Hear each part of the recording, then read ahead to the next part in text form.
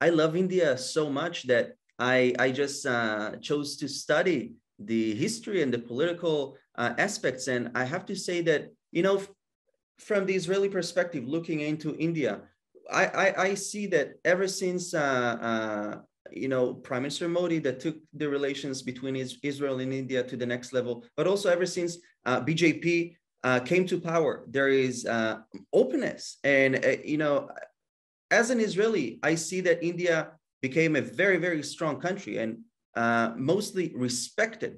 Because if I may say uh, carefully, comment on the uh, India National Congress, that I think it was afraid that, uh, you know, it was led by fear in many cases that maybe we'll lose uh, Muslim votes, maybe the, they will not like us, maybe uh, secularism is the best. But what I like with uh, Prime Minister Narendra Modi is that he was like, we're going to lead India through strength, not fear. We're going to embrace uh, uh, religion. We are not going to attack any any religion, but we are going to fight for uh, for the safety and safeguard the the lives of, uh, of of Hindus, Christians, Muslims, as long as there's no radicalism. So obviously, it's um, uh, it's one of the reasons why Israelis love uh, Modi so much.